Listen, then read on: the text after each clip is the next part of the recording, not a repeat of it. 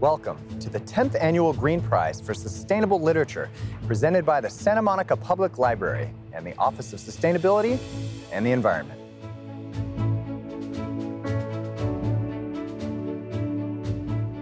Santa Monica is recognized as a global leader in sustainability, so it's only natural that it would celebrate its commitment by acknowledging the storytellers who bring issues of sustainability to the forefront. In 2007, Santa Monica created a first of its kind award, exclusively dedicated to celebrating authors, illustrators, and publishers whose goal was to broaden the public's awareness of sustainability and the notable collection at the library. Uh, to date, the Green Prize for Sustainable Literature has recognized over 100 titles. The Green Prize Selection Committee, consisting of librarians, educators, and sustainability experts, reviews dozens of submissions over the course of several months. Each year, the committee chooses the best adult and youth titles in sustainability, as well as the recipient of its Pioneer Award, which is presented to an author who has paved the way for other writers and millions of readers like you across the world. The pioneers to date include Rachel Carson, Theodore Seuss Geisel, Jane Goodall, David Orr, Bill McKibben, Paul Hawken, Frances Moore Lappé, John Muir, and E.O. Wilson. While accepting the Pioneer Award in 2012, Paul Hawken remarked, Transforming minds is what libraries, books, and literacy have always been about. If you are illiterate, books look like kindling. If we are biologically illiterate, forests look like firewood. If we are socially illiterate, people look like problems. The Green Prize for Sustainable Literature represents an expanded sense of what constitutes a literate world.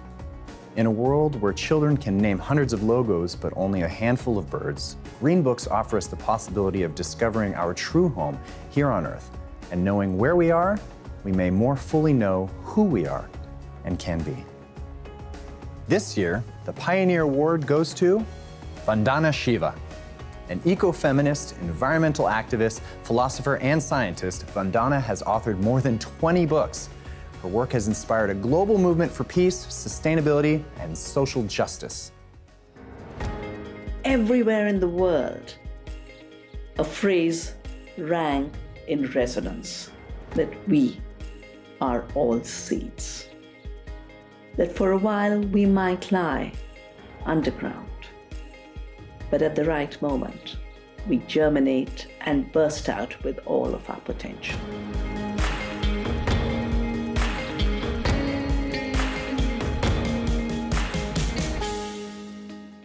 This year, the committee has selected five adult and five youth titles to receive awards. The 2016 Green Prize for Sustainable Literature youth titles are Inside Biosphere 2 Earth Science Under Glass by Mary Kay Carson. Luna and Me, the true story of a girl who lived in a tree to save a forest by Jenny Sue Kostecki Shaw. Wangari Maathai, the woman who planted millions of trees by Franck Prévot.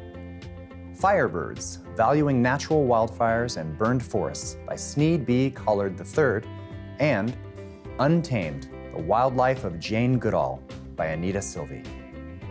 The 2016 Green Prize for Sustainable Literature adult titles are A River Runs Again, India's Natural World in Crisis, from the barren cliffs of Rajasthan to the farmlands of Karnataka, by Meera Subramanian. Lentil Underground, Renegade Farmers and the Future of Food in America, by Liz Carlisle. Encyclical on Climate Change and Inequality, on Care for Our Common Home, by Pope Francis. Waste Free Kitchen Handbook, a guide to eating well and saving money by wasting less food by Dana Gunders. And While Glaciers Slept, Being Human in a Time of Climate Change by M. Jackson. Congratulations to all the winners of the 2016 Green Prize for Sustainable Literature.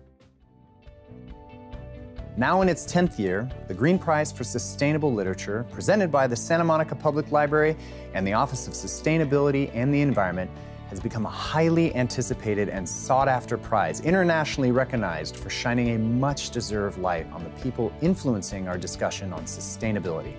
So, as we take a moment to celebrate the first 10 years of authors, illustrators, and publishers that make a profound difference throughout the world, we look forward to what the future has in store for our next decade of sustainable literature.